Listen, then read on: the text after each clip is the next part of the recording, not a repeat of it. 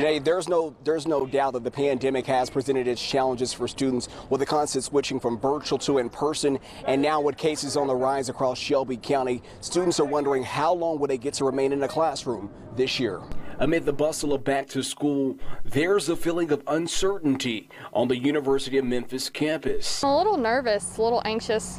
The cause of those jitters COVID-19 and how it could affect this semester as classes are set to operate at 100% capacity. Feels like we might get shut down because of, you know, all the rates going back up and everything with other schools. So mm-hmm.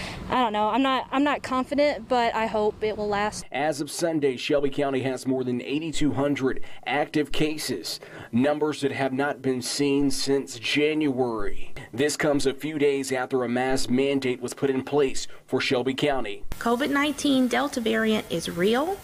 It is getting younger people sick. It is getting kids sick. Dr. Michelle Taylor, Shelby County Health Director, believes that this recent surge could have been avoided. And when you see that, you realize that a lot of this surge could have been prevented if we had been able to get more people, convince more people to get vaccinated. In an effort to increase vaccination rates, U of M is offering vaccines on campus.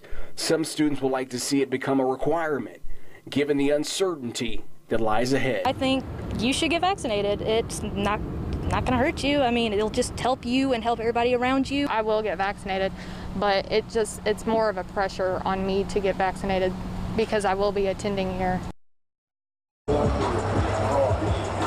University has implemented various safety measures like requiring masks and social distancing upon students' arrival. For now, reporting here live downtown Memphis, Jordan James, WREG, News Channel 3.